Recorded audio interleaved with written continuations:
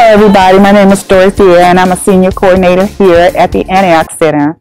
And today I'm going to basically demonstrate how to wrap a gift. First, you're going to start with your, of course, wrapping paper, scissors, and your tape. Uh, wrapping paper can be purchased anywhere, Target, Walmart, the Dollar Tree, the any any of your uh, um, discount stores. Now, first thing, when wrapping your gift, see these little lines on the back of the paper? They're there for a reason. And you're going to use these lines basically to measure the box or whatever item you're going to wrap. So I'm going to start first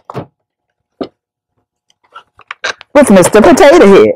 Okay, these are basically little gifts that you might want to uh, purchase for your grandchildren or your godchildren, and you know, just little gifts. Okay, so the trick is to use to use less paper. You don't want to use a lot of paper when wrapping a gift because that's what messes a lot of people up. You just want to use enough to cover the gift properly.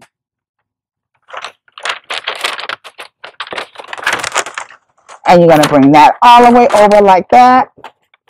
So when you cut the opposite side, it'll be just enough to cover the box, okay? So we're going to start our cut now. And basically, I can just look at this because I pretty much know what I'm doing. So I can look at this and tell where I need to cut. So I'm going to cut here.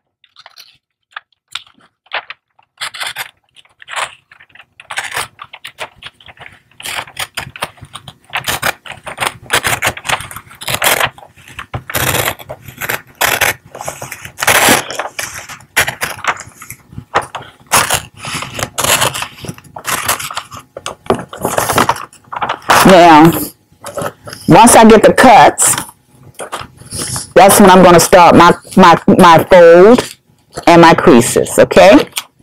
All right, so that's the paper that's going to cover it. Now, this is the paper, the cut, that's going to be our fold and our crease on the box.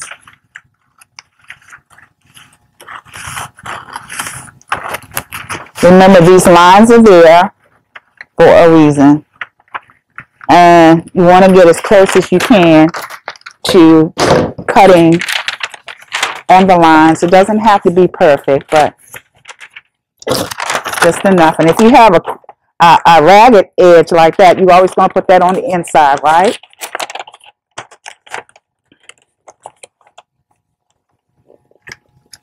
And sometimes your paper may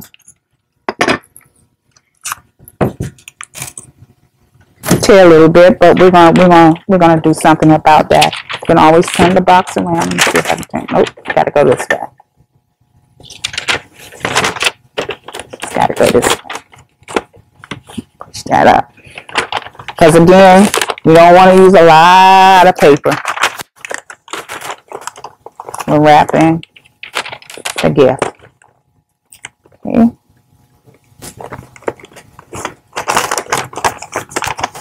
Okay. So we're going to fold this side first before we cut, okay? So this side can be folded like this. Okay, you're going to go, do that again. You're going to go in like that. And you're going to crease.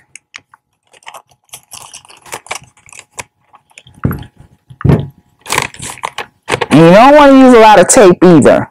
If you notice, I'm using little pieces of tape. See how that goes like that? That's neat, isn't it? And then you're going to come up.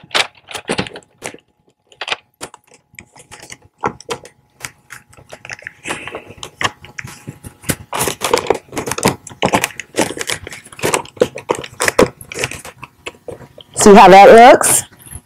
And you're going to use a little piece of tape. Try to use one piece, but I'm going to use two little pieces on the edges here. Not a whole lot. So you won't still won't even notice the tape that has been placed there. Look at that. Then we're going to go to this side. Now this side, we got to cut. Okay, again, these lines are here for a reason. So I pretty much can tell where I need to cut. So I'm just going to go ahead and start the cut.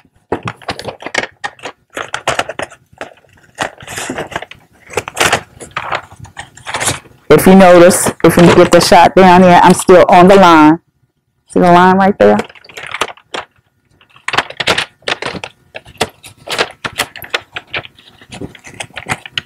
Again, it doesn't have to be perfect. But the trick is to use the right amount of paper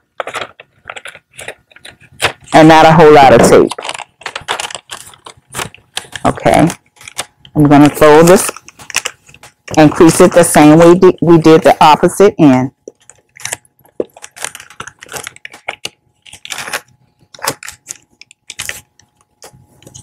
Now, as you can see, this has the diamond shape. So to make it look like this, I'm going to cut it just a little bit. Just a little bit. And I'm going to bring that over.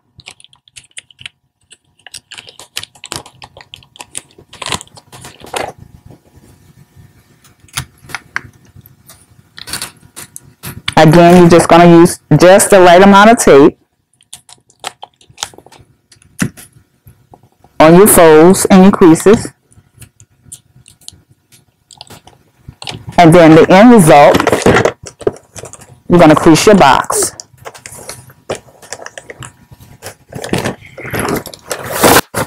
And then you're going to put your accessories on, like your bows and your name tags and things of that nature. Now, sometimes you're going to find a box that may look difficult, but it really isn't because it's very, very easy. It doesn't have, again, it doesn't have to be perfect.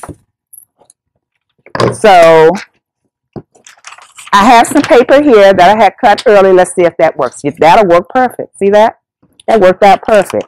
It's going to cover both ends. Let me see. Nope. Nope. I'm going to have to cut. Okay. So we're going to measure the box.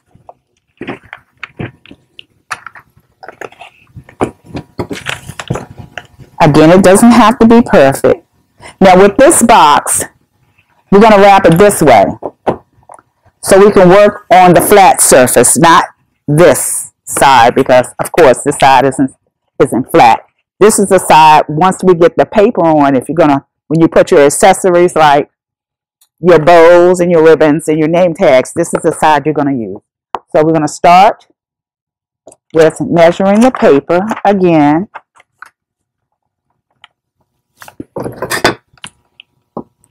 And remember those lines are there for a reason, right?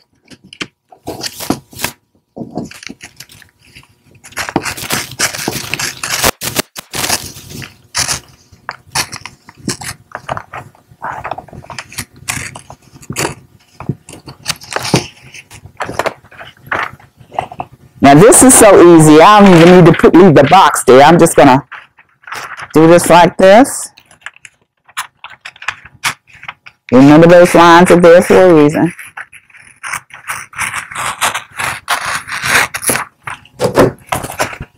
You're going to put, place your box in the middle. This particular box you're going to place in the middle.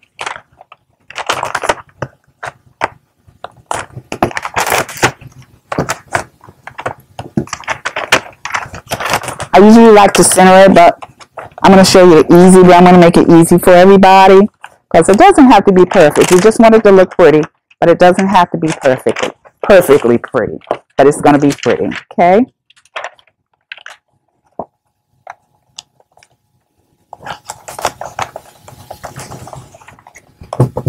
Need to trim this just a little bit. kind of raggedy.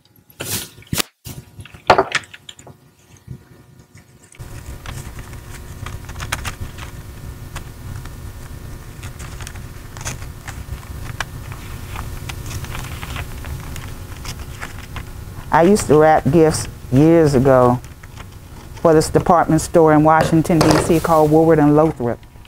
And for Macy's, uh, that used to be Hecht's, the Hecht Company. And I did it every year. It was seasonal work. And uh, that's how I learned how to, ooh, to do this. Don't worry about that. I'm going to fix it.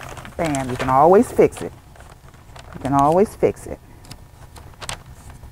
And I have just enough paper to fix it. And this is, um, it's amazing that when you learn how to gift wrap and you see your creation, it's just, it's just phenomenal.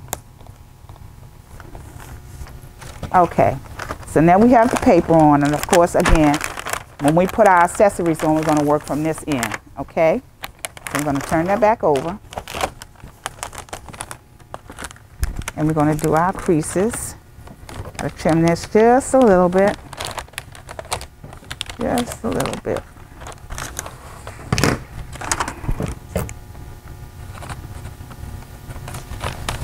This box is not as easy as the other box. But it's going to work. There's your creases and your folds.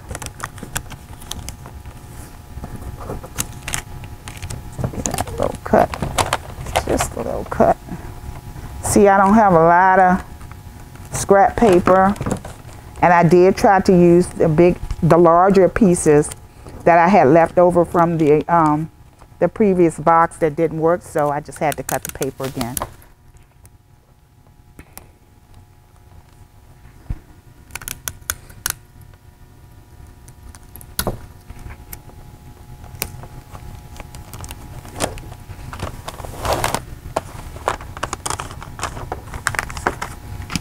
Just have to trim this a little bit.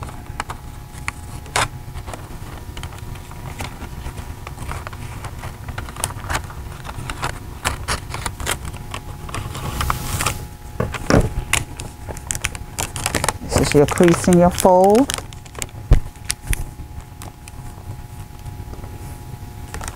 And anybody can do this. I'm, I'm 66 years old. Anybody can do this.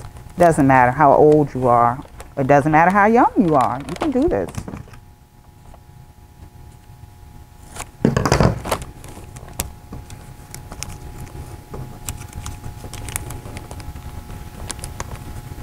See that?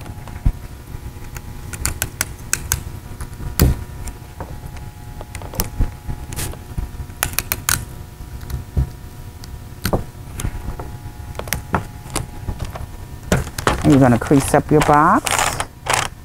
You don't want to crease this one too much because you don't want it to break. And now, as you can see, your gifts are ready for the tree.